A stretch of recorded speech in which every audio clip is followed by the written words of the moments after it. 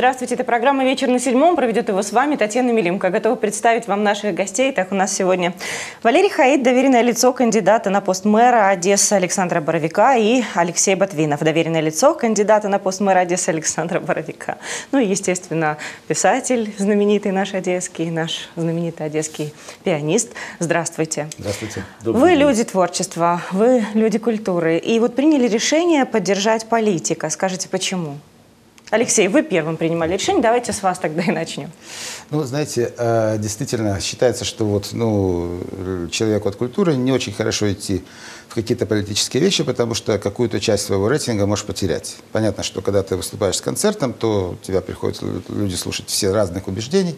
Вот, если ты четко э, позиционируешься, то кому-то это действительно, кого-то это расстраивает, и ты теряешь. То есть теряешь. Поэтому, в принципе, как правило, люди, артисты стараются этого избегать. Ну вот Почему? Я в этот раз, я даже, когда вот мне Саша Боровик предложил стать вот доверенным лицом, я практически не колебался. То есть у меня не было сомнений. Почему? Потому что особенный момент. Э, вот особенный момент, есть такое ощущение э, для нашего города. Э, уникальная возможность действительно что-то изменить, сделать что-то по-другому, иначе, не так, как раньше. Эти выборы, они другие. И э, хочется, чтобы люди действительно вот разделили со мной это ощущение, э, что это все э, сейчас по-настоящему, что сейчас от каждого человека что-то зависит. Сейчас мы действительно можем что-то изменить. Предложение вам, Валерий, Саша Боровик делал у нас в прямом эфире. Это впервые оно публично прозвучало. Скажите, слышали ли вы, или он вам потом еще лично перезвонил и предложил стать его доверенным лицом? И как вы согласились? Почему? Я услышал э, во время передачи, кроме того, э, мне написал Саша в личку, и я ответил, что для меня, в общем, честь э, значит, принять это предложение. И почему я согласился? Вот Алексей уже как бы главное, главное сказал. Мы же как Казалось бы, за вот эти годы, когда, скажем, там, ну я условно говорю, второй срок Кучмы, да, значит, Ющенко после первого Майдана, но что это было во время Ющенко, мы как бы знаем, и вот эти четыре года Януковича, уже должно было прийти полное как бы разочарование. Да? Ну все, ничего не будет хорошего, все так и останется навсегда, все забетонировано, эти все связи, все взаимоотношения, все, все мертво, да, все вот как, навсегда. Но люди, потому и люди, что они не теряют надежды. И у меня даже есть формула, я вот, э, Алексей знает, мы с ним в дружеских отношениях очень давно, что я иногда продолжаю какие-то вот такие вот максимы. Вот, например, есть такая значит, формула, что надежда умирает последней. А я продолжаю таким образом, но ведь и возрождается первой. Понимаете? То есть э, у людей надежда на э, не то, что на лучшее, понимаете, но лучшее это какая-то такая уже банальная формула. Надежда на то, что правда существует, правильно? Что совесть существует, что э, доверие к друг другу существует, она все равно есть. Ведь все равно родители же не учат детей обманывать хорошо – украсть хорошо, они же все равно нехорошо обманывать. Потому что каждое новое поколение рождается с тем же как бы, потенциальным запасом вот, добра, зла и все такое. Вот. И человечество, оно продолжает жить именно поэтому.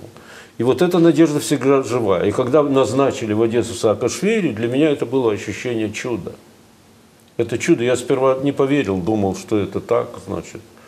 Но потому что э, я знаю, что Саакашвили, э, значит, за 8 лет он, э, там революция роз, она была не одномоментна, она, революция продолжалась все 8 лет его правления.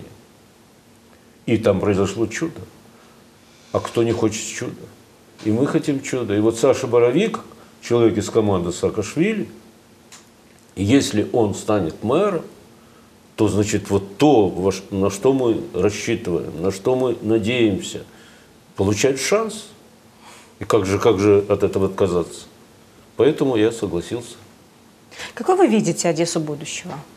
Какой она должна быть? Чего ей не хватает сегодня? Вы знаете, э, я вот э, в меру своей профессии очень много путешествую совмещаю приятное с полезным. То есть играю концерты и смотрю, как живут люди в других странах. И, конечно, больше всего в Европе. То есть, э, в принципе, всю Европу объездил, но и вообще больше, чем в 40 странах мира играл. Ну, это не путешествие, эти были командировки. Командировки, как бы. Ты да. же играл там, Да, ты но же не тем- просто, так сказать, это же было по делу, так что... Представлял Одессу в том числе, правда? Безусловно, я всегда говорю о том, что я э, из Одессы. Потом Следующее, я говорю, что я с Украины, и это всегда обязательно как бы, позиционирую. Это очень важно, на самом деле. Такой посол нашего города во всем мире.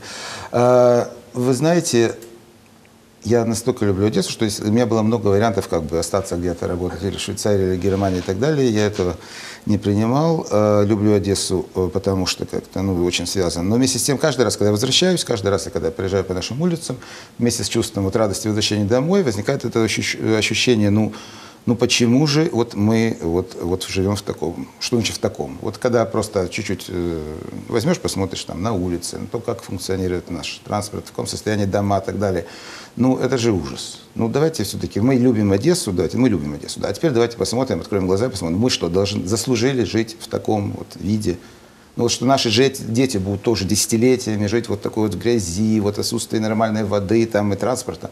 Почему? Будет этому когда-то конец или нет? Неужели мы самая обреченная, проклятая Богом вообще, нация в этой Европе? Я уверен, что нет. У нас прекрасные люди. Нужно в конце концов, сказали мы А, тем, что сл- сломали, э, так сказать, режим этой банды Януковича, сделать Б и все-таки двинуться вперед к цивилизованному, нормальному обществу. То, что сейчас у нас э, в области команды Саакашвили, и если все будет нормально и выиграет выборы э, представителя команды Саакашвили Саша Боровик, вот это будет как бы действительно возможность контролировать процессы и сделать быстро рывок к нормальному цивилизованному будущему, которому заслуживаем и мы все, и наши отцы, и наши дети. Вот э, действительно, мы заговорили немножко и о западной манере, о том, что вы много путешествуете и играете, выступаете с концертами.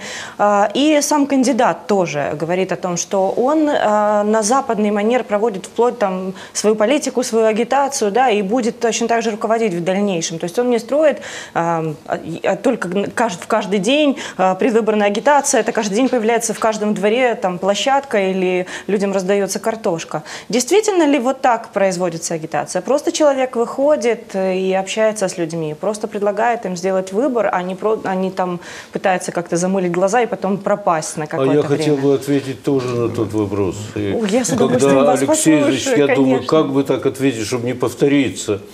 Э, Я могу ответить вот на вопрос, какой бы я хотел видеть Одессу в будущем. Я отвечу очень коротко. Что я хотел бы в будущем видеть Одессу такой, какой она заслуживает быть какой она заслуживает быть.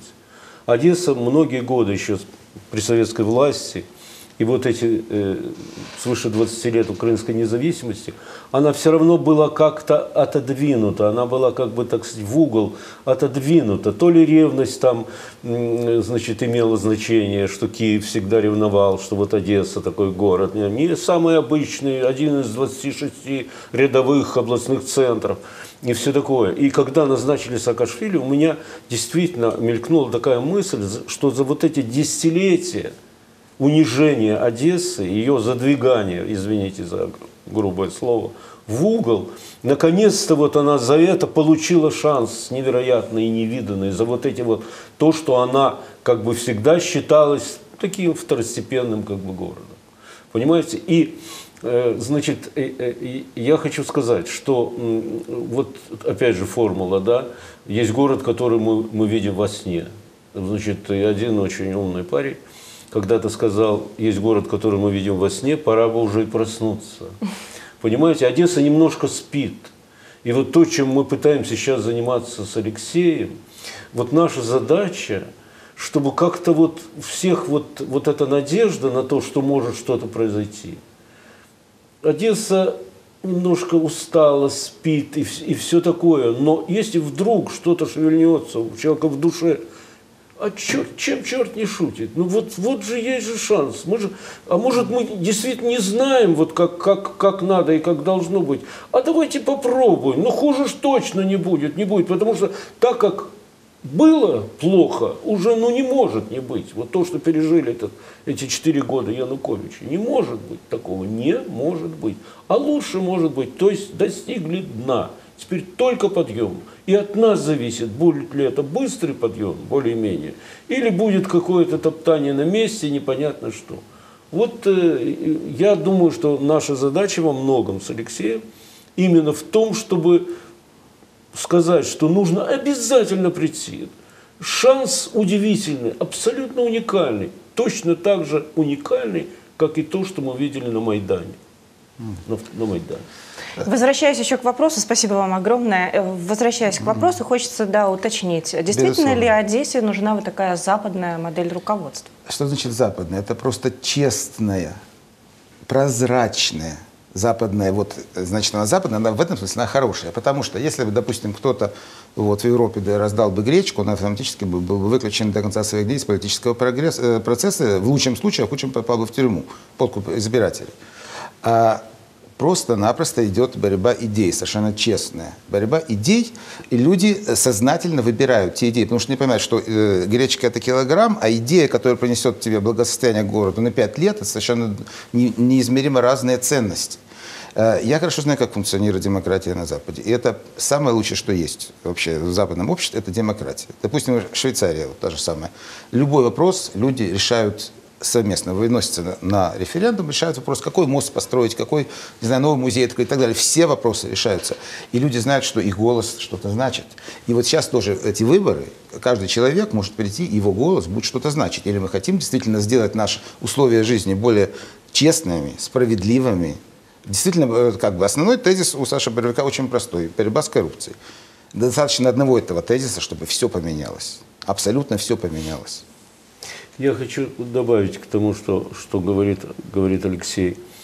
Э, вот те, которые сомневаются, допустим, вот Боровик, вот он, вот да, там что-то такое связано с Одессой, но вот он пришел, вот, вот Европа, вот он, значит, это а, должность мэра, это, значит, нужно знать вот все это вот хозяйство, канализацию, водопровод, все, что здесь может.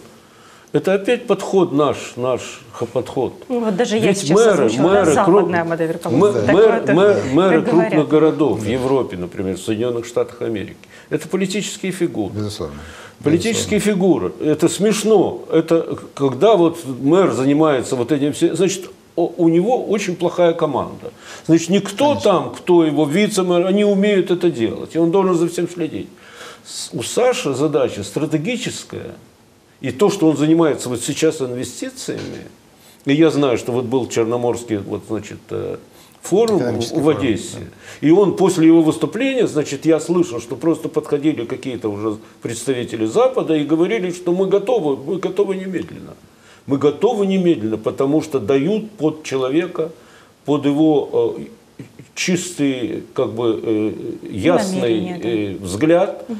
Значит, его внятную речь, э, он о сложнейших вещах умеет говорить абсолютно понятно. Это признак того, что он заинтересован в том, чтобы его услышали. Когда человек не заинтересован в том, что его услышали, или он лжет, он, он говорит непонятно, он говорит, это демагогия и, и все такое, понимаете?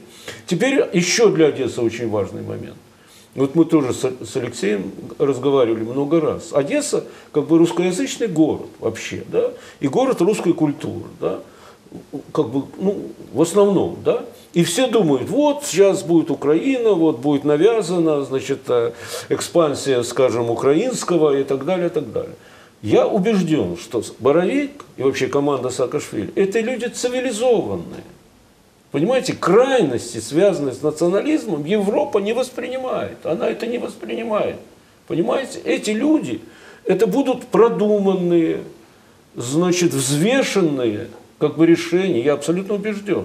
И вот у меня, например, я когда-то Алексей говорил, опять какую-то формулу придумал для себя, вот для Одессы, например, для Одессы, например, украинскому помогать, русскому не препятствовать, если говорить о языке украинскому помогать, русскому не препятствовать. Это цивилизованный подход. Не должно быть никаких крайностей. Понимаете? И Одесса, как город европейский изначально, да, изначально с традицией, и кому, как не здесь, где как не здесь, вот это все и как бы осуществлять. И это будет такая площадка для всей Украины. И мы тоже, тоже знаем, что это действительно так. Так что мы э, агитируем за Сашу Боровика как за человека европейского, честного, профессионального, вот, и невероятно деятельного. Я видел ролик, он по утрам ездит на роликовых коньках. Ну, Кстати, ролик, ролик, это получилась тавтология какая-то. Видел ролик, и он ездил на роликовых кон- кон- коньках. Причем так это ловко у него получается. А для меня, я вообще когда-то сам, ну, небольшой спортсмен был, но я очень люблю спорт, люблю смотреть. Для меня человек спортивный внушает больше доверия, чем человек не спортивный. Вот так как-то.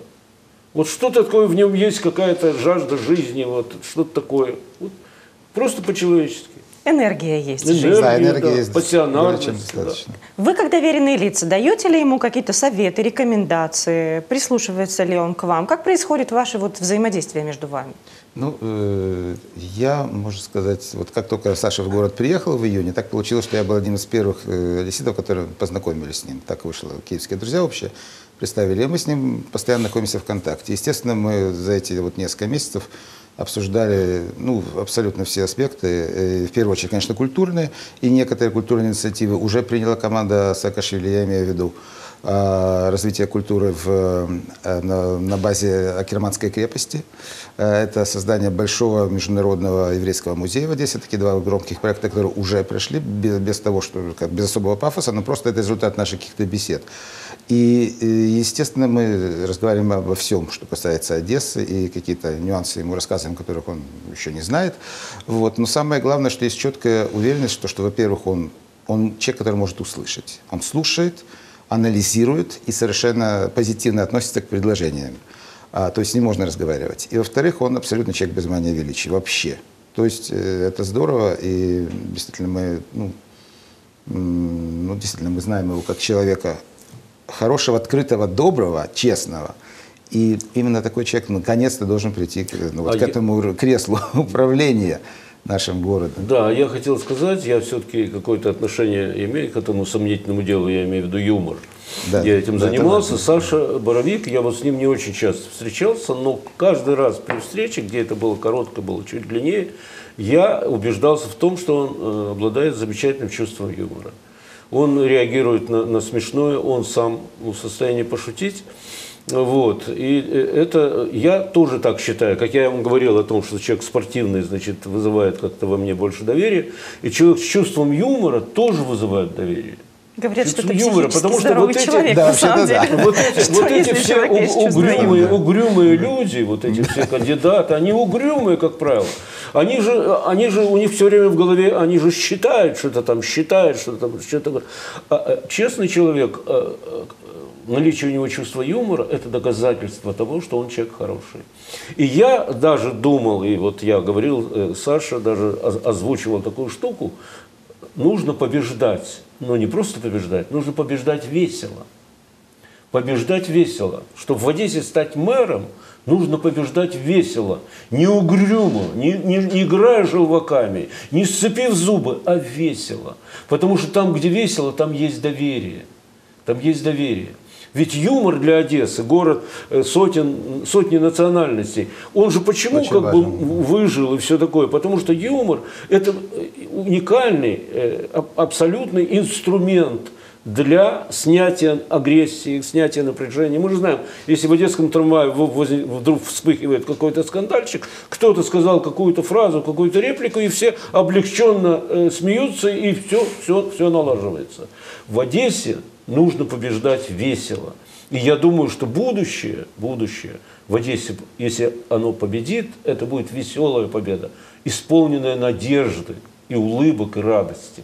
Вот мне как-то так вот кажется. Ну, я, я, я оптимист, может, наивный.